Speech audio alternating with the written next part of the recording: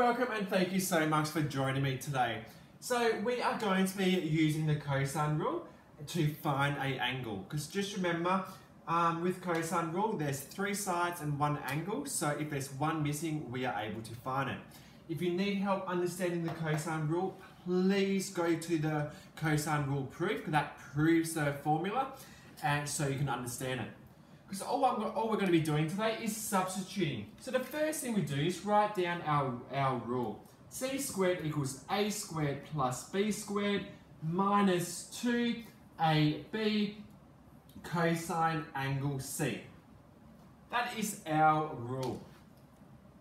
So to get started, we are going to be thinking about, well, our angle is c. So I'll change alpha to c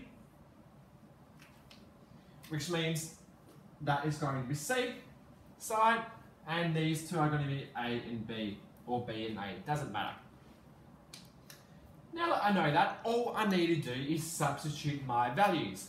So, I know C is 8, so 8 squared equals A squared, so 12 squared, B is 13, 13 squared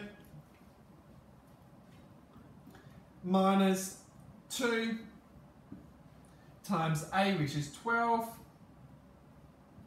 times B is 13, cos and C. So the first thing I'm going to do is get every, everything so, um, solved except for the last part. So, so let's have a go.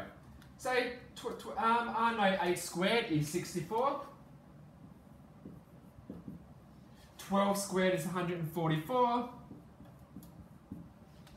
13 squared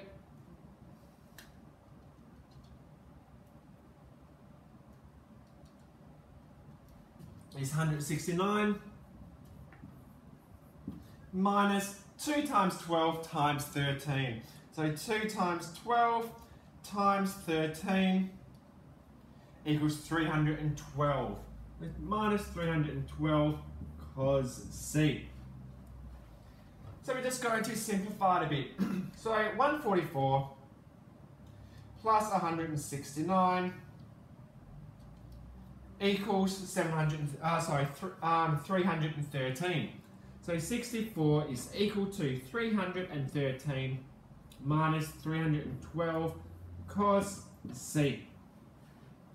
Now, this is plussing on this side. So I am going to be doing the opposite. The opposite is take away. So I'm going to take 313 from both sides. So I'll take it from here and I'll take it from here. That cancels out. And that means I'm left with 64, take 313. So 64 take 313 is minus 249. So I've got minus 249 equal 313s have cancelled out. So I've got negative 312 cos C. Now, because I've got a number next to cos there, it means times. So I would like to get cos C by itself. To do that, I need to divide both sides by negative 312. So I divide this side by negative 312. So negative negative is a positive. 249 divided by 312 gives me a massive big decimal. So I'll leave it like that, but I'll just take the decimals, um, take the negative signs away.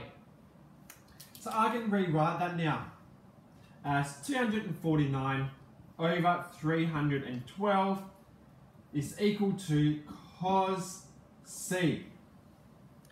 If we remember going back to basic um, trick, to get um, the angle by itself, we take cos to the other side and it becomes cos, um, cos negative 1.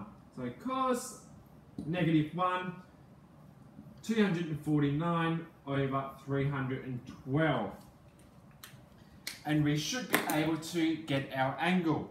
So using a calculator, cos negative 1 249 divided by 312 and it equals 37.05.